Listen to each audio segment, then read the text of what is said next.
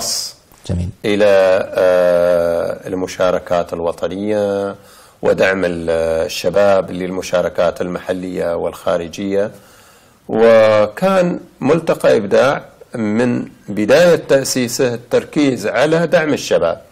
لأن الفنان خليني أقول اللي يوصل إلى مرحلة معينة من الفن يبقى الفن بالنسبة له إشباع رغبة. ما هو محتاج إلى جهات تحتضنه وتاخذ بإيده وتطلعه إلى نعم. آه إلى العالم سواء في معارض أو غيرها. جميل. لذلك آه كان الملتقى الحقيقة على مسيرته الآن 25 سنة تقريبا أو أقل قليل.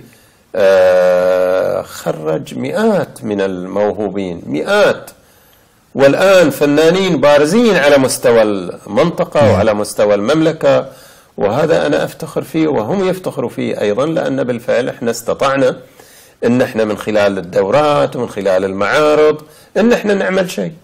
جميل. وعملنا الحمد لله رب العالمين. جميل جدا. طيب خلينا نتحدث أبو محمد عن مشاركاتك أنت آه، سواء المحلية أو آه، الإقليمية أو ال- الدولية فيما يخص آه، الفن التشكيلي. آه، بدايتي بأبدأ فيها مع أول معرض أقمته شخصي. جميل. كان في المرحلة الثانوية وكان في نادي النور. ما شاء الله. وهذا يعني أعطاني دافع كبير. متى أكبر وأسوي لوحات أخرى وأعمل معرض جديد؟ طبعا متى أكبر؟ يعني لازم أروح الجامعة علشان أكون نفسي. وبالفعل في العام 1406 للهجرة عملت أول معرض شخصي أعتبره لأن هناك رسومات هنا لوحات. في فرق بين الرسم على الكراسة والأوراق وكذا. ولكن الجامعة أو فترة الجامعة كنت أرسم على لوحات وأشارك في معارض معارض الرئاسة العامة معارض الجامعة وعملت معرضي الشخصي آه، 1406 وتلاها 1407 معرضي الشخصي الثاني جميل. في؟ الجامعة. في الجامعة. جامعة الملك سعود في الرياض الأول في كلية التربية والثاني في المكتبة المركزية في الجامعة. كان معرض كبير يعني أنا أتذكر يعني كيف أنا رسمت كل هالعدد من اللوحات وأنا طالب في الجامعة في وقت الفراغ. بعدها يمكن انتظرت آه، ست سنوات وأقمت المعرض الثالث وكان هو المعرض اللي أعتبره توب. آه، في مكتب رعاية الشباب في الدمام وصالته كانت ضخمة جدا وافتتحها مدير مكتب رعاية الشباب آه، بالمنطقة الشرقية الأستاذ صالح الراشد وقتها. ومن بعدها بدأ مشواري. بعدها آه، رحت آه، الرياض عملت معرضي في الرياض في قصر ال- في حي السفارات.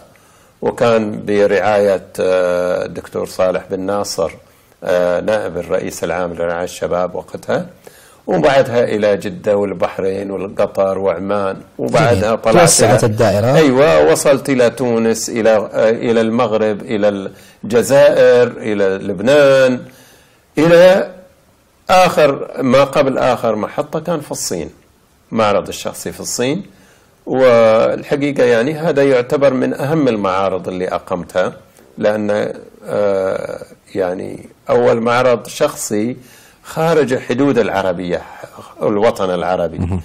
فكان هل في الصين؟ في الصين.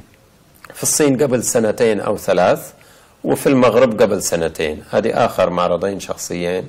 من أهم المعارض الشخصية اللي أقمتها معرض الصندوق الأسود.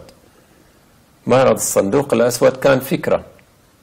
كيف أحداث اللي مرت علينا من بعد الحرب على العراق كانت وجوه الناس في الإشارات كلها عابسة. وأتذكر لوحة من اللوحات سألتني عنها قبل شوية. من هذا الوجه؟ هذا الوجه كان هو تعبير عن الوجوه اللي إحنا نشوفها أثناء توقفنا في الإشارات أثناء مشينا. نعم. كانت وجوه كلها فيها نوع من الضغط النفسي ال... وهذه الفكرة كنت عملت أنا مجموعة لوحات سميتها إيحاءات. والإيحاءات هي فكرة إيحاء أنا كيف أستوحي منك؟ هل أنت مرتاح نفسيا أو متضايق؟ والصندوق هو عبارة عن صندوق أسود وبالداخل قصاصات الصحف. الصحف والمانشيتات العريضة أيوة. وكيف بدأت قنوات فضائية كثيرة ظهرت في ذيك الفترة من آه، بداية الحرب. بدأت القنوات الفضائية وعملت خمس لوحات عبارة عن نساء. كل امرأة تمثل قناة فضائية لأن كانت القناة الفضائية تبحث عن النساء الجميلات لتقديم نشرة الأخبار وكذا وكذا. وأنهيتها السلسلة هذه بعباءة عباءة نسائية مطرزة بطاؤوس هذه بداية تغيير العباءة وشكل العباءة كيف بتتغير؟ من شكل ستر للمرأة إلى شكل زينة, زينة للمرأة وبهرجة وطريقة مختلفة. نعم. آه إلى أن وصلت إلى عباية بيضة.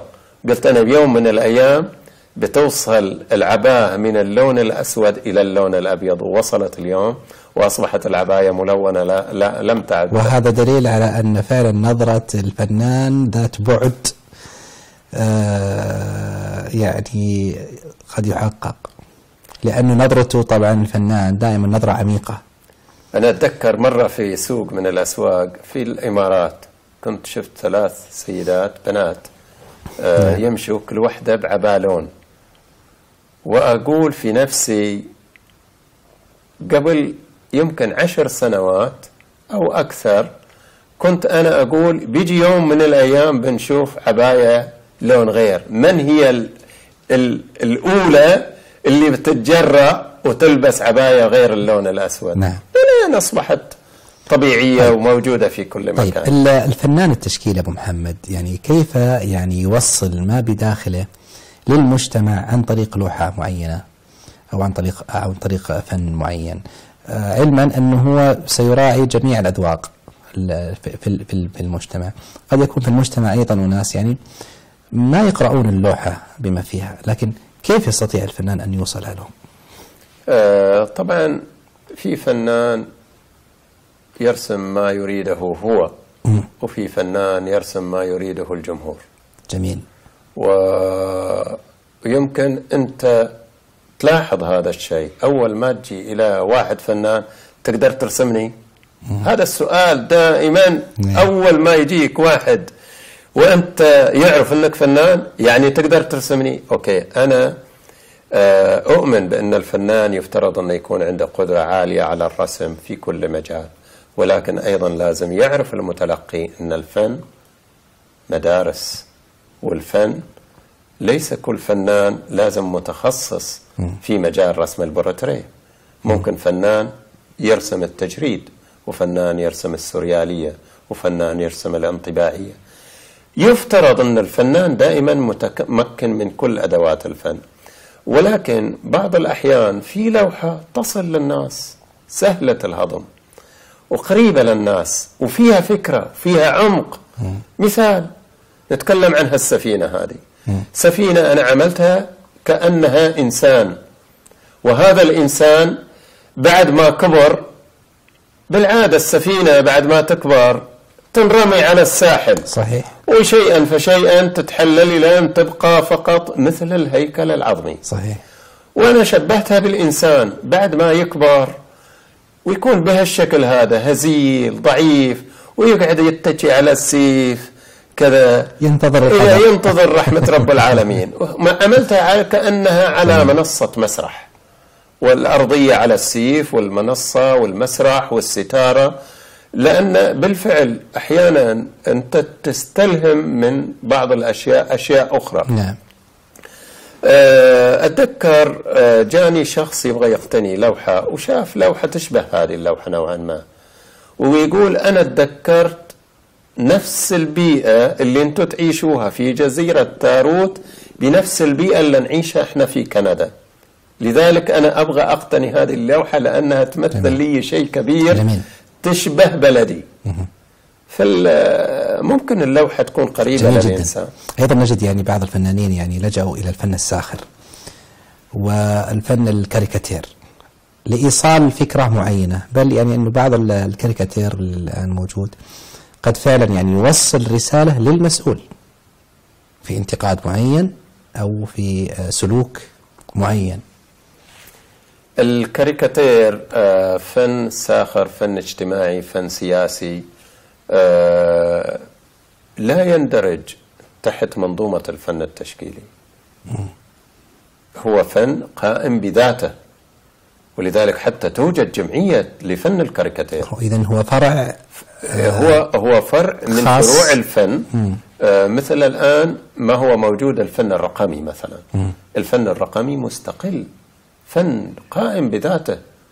آه، لكن الفن الكاريكاتير آه، يمتلك الفنان حدث وإلهام لمتابعة كل ما يجري ويترجمها بشيء. بسيط. طبعا فنانين الكاريكاتير على على مدى التاريخ. كنا نشاهد محمود كحيل وكنا نشاهد آه، أعمال مثلا آه، ناجي آه، ناجي ما أعرف اسمه. ما عليه ما عليه ناسي اسمه. أنا على كل حال فنانين كثيرين الحقيقة آه، كانت لهم بصمة. ناجي العلي فنان فلسطيني من أشهر فنانين الكاريكاتير في الوطن العربي. وكانت لهم بصمة آه، كبيرة لدرجة إنه يغتال ناجي العلي بسبب الكاريكاتير. نعم. نعم. وبالتالي الفن الكاريكاتير فن آه، مؤثر بشكل كبير جدا حتى على مستوى السياسات والسقط الاجتماعي. جميل جدا. طيب محمد إحنا آه، راح نتكلم عن شيء مهم جدا وهي لوحة المحبة والسلام. ولكن أعطيني بس فاصل وأرجع إيش رأيك؟ بكل تأكيد. تسلم. أعزائي المشاهدين فاصل ونعود لاستكمال حوارنا مع ضيفنا العزيز الأستاذ عبد العظيم الضامن.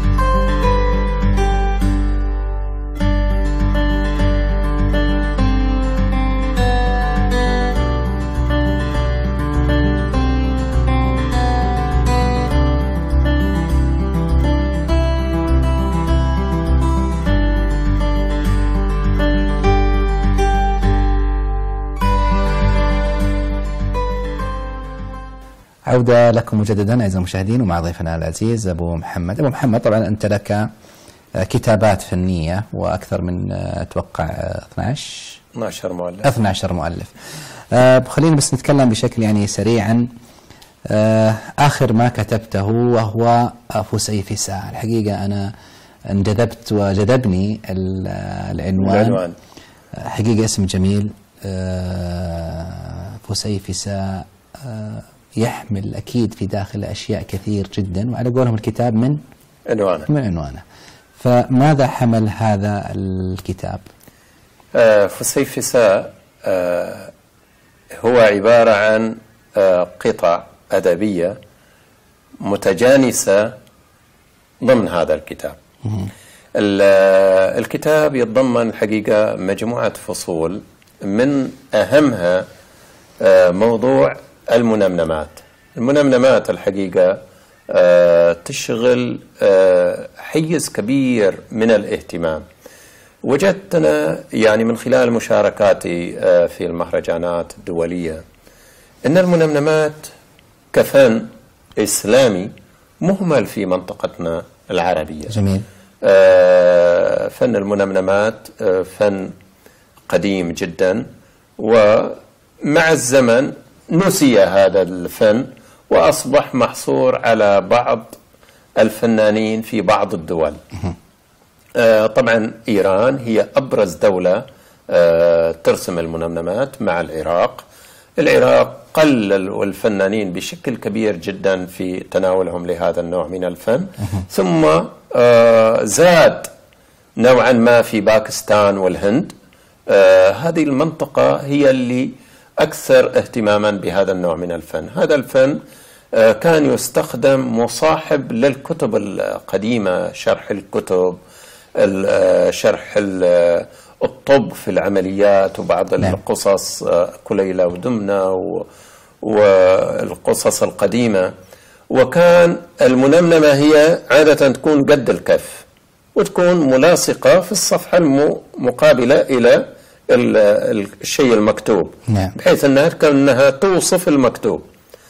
آه، تطورت المنمنمة من آه، هذا ال- النوع إلى أن أصبحت الآن في عصرنا الحديث لوحة فنية مكتملة. عادة ما تكون المنمنمة هي تحمل قصة جميلة جدا. وفيها رموز أحيانا تستخدم الطير أحيانا يستخدم الفراشة الزهور ال- الغزلان على أساس أنها تكون وصف إلى حالة معينة. جميل جدا. آه، طيب الكتاب الثاني آه، أيضا لل يعني حقيقة لفت نظري هو الحركة التشكيلية في المنطقة الشرقية. يعني آه، المنطقة الشرقية آه، ذات طابع بحري وفي يعني العديد من الثقافات الموجودة في المنطقة الشرقية لو حسبناها من الأحساء إلى وأنت جاي على البقيق وعلى الدمام ومثل قطيف وتاروت وذهابا إلى الشمال المنطقة الشرقية. هذا ال- الكتاب ماذا حمل يعني؟ وأنت تتكلم عن حركة يعني آه، تشكيلية في منطقة ليست بالبسيطة. صحيح. آه، أنا أخذت الكتاب في حدود الجغرافيا من الخبر إلى الجويل. جميل. آه، لذلك آه، كان مؤمل أني أنا بستمر آه، في الكتاب إلى أكثر من عدد بحيث أنه يغطي الأحساء عدد ويغطي آه، المناطق المن أو المدن الم- نعم. يعني اللي في المنطقة الشرقية. نعم. آه، كانت الفكرة هو يعني أني أنا أجمع كل ما دون عن الفن التشكيلي في المنطقة الشرقية. نعم. وأكتب عن كل فنان تشكيلي لمحة بسيطة للتعريف نعم. بالفنان. جميل. وكانت بداياتي الحقيقة يعني بداية آه، إصداري آه، كان هذا الكتاب. آه، بعد يمكن كتابين كان هذا هو الكتاب الثالث. وكان آه، طموح والطموح يعني الآن لو بجي بعمل كتاب آخر بيكون مختلف تماما عن هذا الكتاب ولكن في وقته أعتبره أنا لماذا مختلف تماما؟ رؤيتي مختلفة الآن. لماذا تغيرت رؤيتك؟ آه، رؤيتي في السابق كنت أكتب فقط ملامح بسيطة عن كل فنان. الآن يفترض أن يكون ملامح كثيرة عن كل فنان لأنهم ما يستحقون الأكثر. وأيضا يعني نمت. نمت أكيد طبعاً. المعرفة وبديت على الأقل أتلمس تجارب الفنانين عشت هي هو الفنانين. الفنان ك نقدر نوصفه مثلا كالشجر يعني يبدأ من جذور ثم ساق ثم فروع ثم تمتلئ بالأوراق صحيح. والثمار. بلا شك. آه نتكلم عن آه لوحة المحبة والسلام. هذه اللوحة اللي يعني ضج العالم الحقيقة بها. آه إلى أين وصلتم في لوحة المحبة والسلام؟ ولو تعطينا يعني نبذة عن فكرتها آه عن فكرة هذه اللوحة والدول اللي اللي شاركت معك في آه. رسمها ونعم تفضل. لوحة المحبة والسلام الحقيقة كان مشروع آه، بدأنا فيه آه، من فكرة طرحت الفكرة أنا في بدايتي مع الرئاسة العامة آه، مع جمعية الثقافة والفنون أثناء آه، إشرافي على قسم الفنون التشكيلية في الجمعية. نعم. ومن ثم آه، بديت آه، أتحامل يا الفنانين كيف نعمل شيء مختلف. آه، الحقيقة بدأت الفكرة من حيث كيف نتغلب على الأنا. الأنا في الفن التشكيلي متضخمة. جميل. دائما الفنان هذه لوحتي. هذا عملي. لا يوجد عمل مشترك في الفن التشكيلي. جميل. على خلاف المسرح العمل مشترك مخرج وسيناريو وممثلين نعم. وإضاءة. فكنت أنا أبحث عن هالجزئية هذه كيف نعمل عمل مشترك؟ وبالفعل آه، في العام 2005 بدأت الفكرة وانطلقت من مهرجان الدوخلة بسنابس في العام 2006 والحمد لله بتوفيق من رب العالمين مع أول خبر كتب في جريدة الحياة عن عن اللوحة؟ آه، يعني كان في ترحيب كبير من الجمعية العربية السعودية للكشافة. دعيت إلى آه، معسكر في الرياض لتقديم الفكرة ووافقوا على الفكرة على أنها تمثل المملكة في المخيم الكشفي العالمي بيكون في آه، بريطانيا. جميل. والحمد لله انطلقنا من من المحلية إلى ال- إلى الدولية وهناك شاركنا بمحفل كبير بحضور آه، سفير خادم الحرمين الشريفين في في لندن في المملكة المتحدة الأمير آه، محمد بن نواف ووقتها جانا رئيس نيوزيلندا وحرمه وجو رؤساء دول وشاركوا في رسم اللوحة. جميل. بدأت تاخذ صدى طيب. إلى أن بديت أنا أوضع خطط يعني كيف أن نحن نوصل إلى قلوب العالم. من خلال أفكار نطرح فكرة ونطرحها على بعض الدول ونوفق فيها. الحمد لله طفنا الكثير من دول العالم آه، سواء في الوطن العربي لبنان الأردن آه، تونس المغرب. ال- آه، قبل سنتين رحت دار السلام. وكانت تجربة جميلة جدا آه، تنزانيا. نعم. آه، لأني كنت أحتاج أن إحنا نزور آه، قارة أفريقيا السمراء. آه، الصين أمريكا آه، في دول الخليج معظمها طبعا. وكانت كل محطة لها ميزة. آه، ميزة وش اللي يميز المحطات؟ مثلا محطة الشارقة تعتبر واحدة من أهم المحطات. المشاركين كان عددهم كبير جدا. يمكن لا أبالغ إذا قلت 500 شخص شارك في اللوحة. وبعد فترة من الزمن بدينا نشارك مع الجمعيات جمعية مرضى السرطان جمعية السكر جمعية الصوم جمعية التوحد لأجل أن إحنا نشرك هذه الفئات في هذه اللوحة. جميل. وصلت الآن اللوحة بعد 12 سنة إلى 1270 متر. وشاركوا فيها 8500 شخص. 1270 70 متر. متر. أيوة. ما شاء الله. يعني آه، يعتبر إنجاز. إنجاز إنجاز جميل. يعني. وشاركوا في أكثر من 8000 أكثر من 8500 شخص. جميل. بدأ السؤال قبل سنتين كثير من الأشخاص. وماذا بعد؟ وبعدين يا عبد العظيم ويا هاللوحة لوين بتوصل؟ فكنت آه، دائما أجاوبهم اللوحة لن تنتهي لأن عنوانها للتواصل مع شعوب العالم. جميل. والتواصل لا ينتهي. والكل في حاجة والمحبة نعم، لا لا تنتهي. تنتهي. والسلام. إي فبالتالي مطلوب. هو مشروع متواصل. ولكن كان في عندنا خطة أن يبدأ العمل بعد عشر سنوات. بعد ما انتهت عشر سنوات بدأنا بالمشروع. المشروع هو عبارة عن تحقيق قيمة من خلال قماش اللوحة. فبدأنا مع الأسر المنتجة نصنع حقائب بعنوان حقيبة المحبة والسلام. جميل. تطورت الفكرة أكثر تطورت وأكثر الفكرة وأصبح في منتج منتج براند ماركة. ولا يوجد آه، حقيبة مثل حقيبة أخرى. كل حقيبة واحدة بس لا توجد مثيل لها. جميل جدا.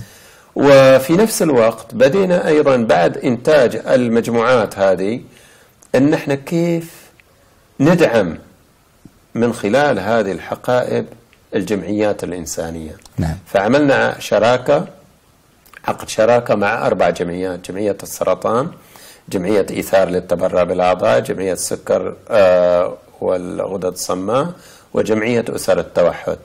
وقبل فترة عملنا أيضا عقد شراكة مع آه، نادي الصم بجدة. بحيث أن كل ما يباع يكون ريعة دعم إلى هذه الجمعيات جميل. فمشروع آه، متواصل يحتاج بالتأكيد إلى دعم يحتاج إلى وقفة يحتاج إلى مساندة لأجل أنه يخطو خطوات إلى الأمام. واللوحة مستمرة. بإذن الله. يعني آه، متواصلين فيها إن بإذن شاء الله. الله وبإذن الله يسود العالم المحبة والسلام بإذن الله. وهذه اللوحة تحديدا توصل هذه الرسالة إلى العديد من الشعوب آه، في هذا الوقت بإذن الله رب العالمين. أبو محمد الحديث معك ذو شجون. ولا يمل حقيقة فالوقت داهمنا آه، نريد منك كلمة في نهاية آه، برنامج لقاء الأسبوع. لقاء الأسبوع الحقيقة يعتبره من أهم البرامج اللي مرت علي في حياتي اللي جعلتني أتكلم من طفولتي إلى هذه المرحلة وأشكر قناة دي ام ام على هذه الاستضافة الجميلة اللي تعتبر لهم بصمة في حياتي وأتمنى أني أكون ضيف خفيف على المستمعين والمشاهدين. يعطيك العافية محمد. آه، الشكر لكم أيضا أعزائنا المشاهدين على متابعتكم. نلقاكم بإذن الله. الأسبوع القادم مع ضيف جديد. تقبلوا تحياتي وتحيات فريق برنامج لقاء الأسبوع وإلى لقاء أسبوع جديد.